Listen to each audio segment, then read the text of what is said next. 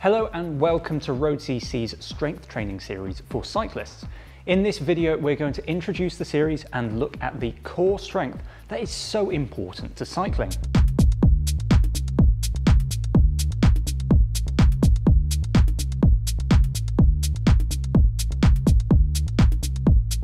Guiding you through the series is Menachem Brodie of Human Vortex Training. He's a qualified cycling and strength and conditioning coach with over 15 years of experience helping everyone from mid-category choppers like myself to professional cyclists. Now, if you're a cyclist that is in any way competitive, whether that's just against your mates up the local climb or in a race with a number on your back, you've probably considered off the bike training as part of your routine. And to get the most out of your performance on the bike, strength training plays a vital role. That is why you will see the pros regularly hitting the gym. But strength training doesn't just mean doing endless huge deadlifts or following a bodybuilding program. We are cyclists after all, so anything we do needs to be aimed at improving our abilities on the bike. One of the first areas a lot of cyclists think about is core strength. Many of us are aware that it's important, even if we're not quite sure just how and why. And usually we think that improving involves exercises like planks, crunches, and sit-ups. However, spending time on these moves doesn't always translate into a noticeable improvement on the bike. And that can feel like a waste of training time. To understand how to produce power on the bike most efficiently, it's first important to understand that the core is more than just the abs. We're talking about all of the muscles between your neck, elbows, and knees, plus the many joints in between those. Training your body to be stiff at the torso and the hips and the spine and allowing more efficient movements from the hips and the shoulders, that's what training your core for cycling performance really means. It takes practice, refinement and time, but if you put in the effort, the rewards can be huge. So without further ado, we're going to show you six performance boosting moves that will help you ride more powerfully and even feel better off of the bike. We're going to head over to Menachem to talk us through each of the exercises. If you have any questions about the exercises, comment below and we'll do our best to get them answered. Right, it's exercise time. When you look on the internet for the McGill Crunch, you're going to get well over 500 different videos of how not to do them. Now this exercise is butchered immensely as well as a couple of others here in the series, so pay attention to the cues because how you do the exercise is going to significantly change whether or not you're going to get the outcomes that you're after. Now the McGill Crunch is going to be a little bit of a challenge for most of us as it's teaching us to lock together the rib cage and the pelvis. So before we go down to the ground, what I'd like for you to practice is keeping the chin tucked. Find the space between your six pack and your obliques, a little tiny ridge there, or where they would be, and you're going to gently, or aggressively rather, push out. You can also do this gently if you have the ability to already lock, but what we're looking for is the ability to use the full transverse abdominis to lock the rib cage and pelvis together. Now the McGill Crunch uh, is gonna keep a chin neutral position, so we don't wanna have your head poking forward either. Just standing nice and tall, feet shoulder width apart, brace.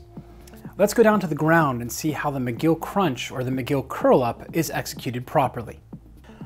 The first thing to note is that when we're setting up for the McGill Crunch is one leg is going to be bent with the foot flat on the floor, not too close to the butt. We want to have it right around even with the knee. Find what's comfortable for you, but we want that foot position to help us keep a nice neutral spine.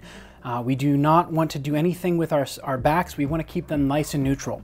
Now the second thing we're going to do is we're going to put our fingers underneath our lower back. So right where the top of your glutes are, you're going to have the triangle right in through there and that's gonna help us bolster the natural arch in the back. We don't wanna have them too high or too low, just there to keep a nice neutral arch in the back. Our fingertips are gonna be pressure sensors, allowing us to know if we're crunching and moving too much or if we're doing the movement correctly. Now, for the sake of the demonstration, we're gonna keep my left leg straight and my right leg is going to be bent. Now I'm gonna take those hands underneath and what I'm looking for with the hands essentially is to find where my natural arch is and then to have my fingertips just underneath the top of my pelvis, which is right about here. Now, the next part that's going to be a little bit challenging for us as cyclists is going to be bringing the elbows up off of the ground. Now, if you start to cramp or start to have serious pain in the front of your shoulder, you can certainly leave the elbows on the ground. Uh, but lifting the elbows is important because it keeps us from being able to cheat with our arms. Now, next, we're going to take the chin tucked position, and now we're going to use that brace and we're going to pretend as if there's a scale underneath our head and we want it to say zero stone. We want it to have a zero. That's all the movement we're going to look for out of this. So I'm going to stop talking for a second.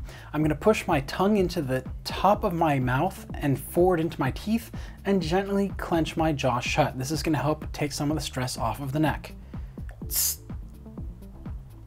The scale is reading zero right now, and I'm able to feel a full 360 degree abdominal brace. Now, breathing while you're doing this is quite a challenge, but when you first begin, we don't have to worry about breathing because we're just gonna hold this for about two or three seconds. If you're having difficulty doing this correctly or you feel like you're crunching up and getting too much motion and the scale is reading more than zero stone because you're coming all the way up, you can take one hand out, the other hand is going to stay under the back. Again, those fingertips are those pressure sensors telling you if you're coming up too much. Find that area between the six pack and the obliques dig those fingers in, and then gently let a little bit of air out with the tss, trying to get the weight off of the scale from the head to read zero. Now notice when I'm lifting, I'm lifting in a head neutral position. This is really important. We want to keep the head locked and back down. It's a very small motion. It's not actually a crunch as many people think it is. This is the McGill crunch. Start off with two or three repetitions. It doesn't necessarily matter which leg is up, but we do want to try and make sure that you're not overusing your hip flexors.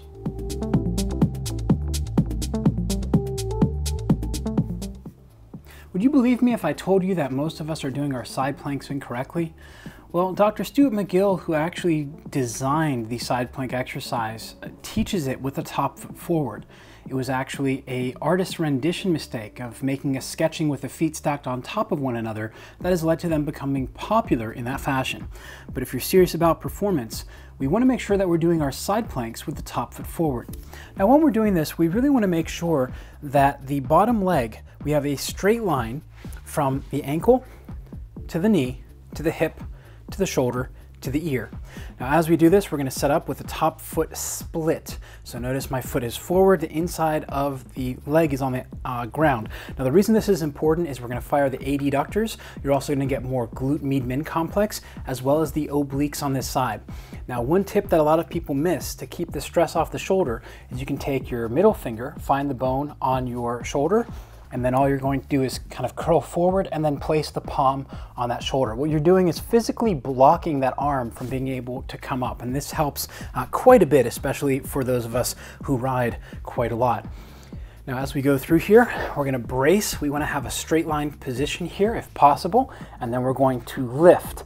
Now you'll notice that I'm not tilting my hips forward or back. I'm also not letting my butt sit back either or bending my knees. Both legs are straight. The insole of the top leg is forward and pushing into the ground, activating my adductors, and I can feel the obliques as well. If you're not sure if you're doing this well, have somebody take a picture. We should have a straight line from the back ankle, hip, knee, shoulder, into the ear. You're gonna hold this for 15 to 20 seconds and then come back down. Now when you come down, we don't wanna collapse down to the side. We want to bend the knee down to the ground, bring that leg back, and then we can hinge back and down. We're practicing good spine hygiene, and then from there we can sit up. This is the side plank, top leg forward. It seems like nowadays everybody's talking about the glutes, but they're missing the fact that we need to learn how to tie the rib cage and pelvis together and get motion only from the glutes. The straight leg kickback is a fantastic exercise for cyclists to tease out the weaknesses that you have and to help you train how to lock the rib cage and pelvis together. The way we're going to start off is we're going to go into an all fours position.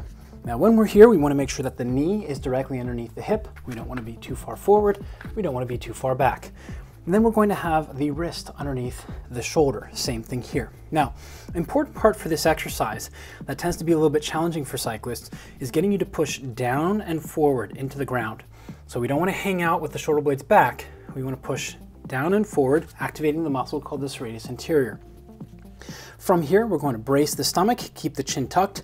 I'm going to tighten my lats and my midsection exactly as we did for this, the McGill crunch. We're gonna brace and then we're just going to slide, moving only from the glute, keeping the leg close to the ground and then coming back down.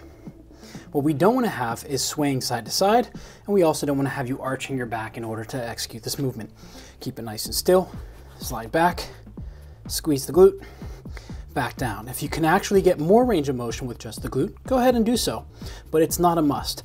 All we're looking for here is a nice solid position on the bike and getting you to be able to fire that glute while keeping a nice solid midsection. While a lot of people like to think about crunches and sit-ups to help you build your strength on the bike, actually what we need is rotary stability. The front plank hand to shoulder is an incredibly challenging exercise to do correctly, as you're going to see here in just a second.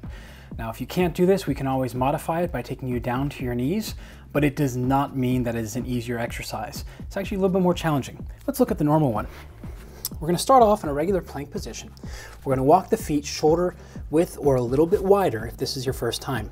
We wanna make sure that the uh, wrists are directly underneath the shoulders. And all we're gonna try and do, we're gonna brace the entire body, midsection abs, without lifting or moving to touch the opposite shoulder. See here, bad side. So there I shifted just a little bit. What I mean by bad side is I had a surgery last year and thanks Corona, I did not manage to get the full physical therapy done quite yet.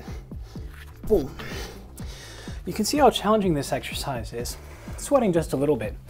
This is not one to mess around with. We're not looking to have your hips wobble side to side. If you can't do it without breaking at the hips, the exercise is too hard.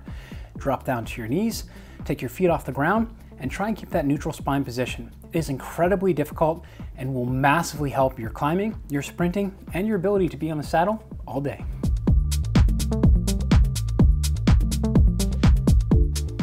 When most of us think about core training for the bike, we're thinking about the stomach only. But in fact, the core includes all of the muscles between your knees, your elbows, and your neck.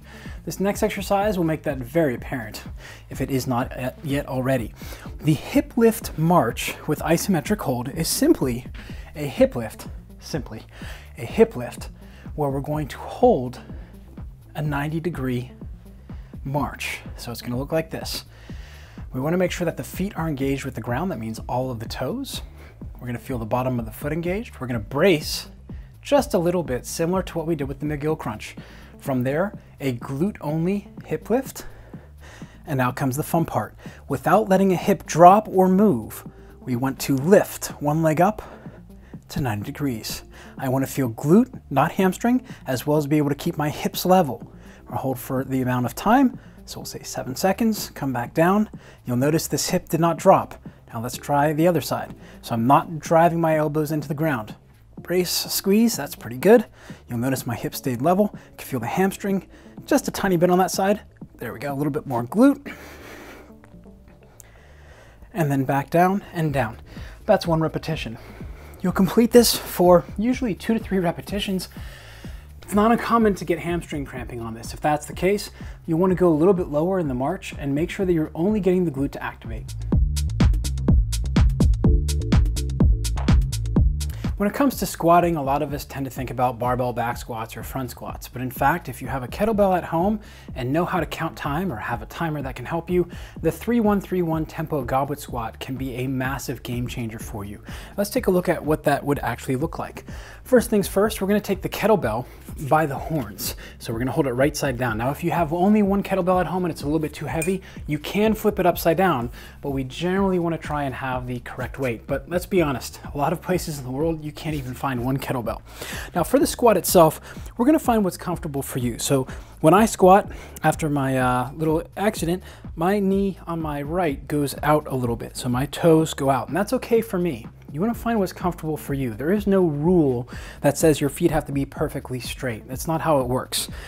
Now, once we're there, we're gonna hold the kettlebell at the chest, shoulders back. We're gonna try and actively rip the kettlebell apart. So I'm ripping with my lats, pulling the handles apart.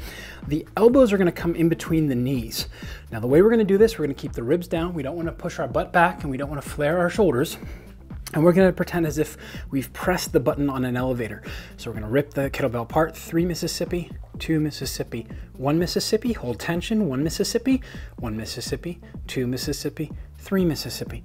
And then we're gonna count one Mississippi and right back down. So the 3131 comes from the tempo itself. Three seconds down, one second pause, but keeping tension through the entire body, three seconds up, using the glutes to drive, and then one second to reset.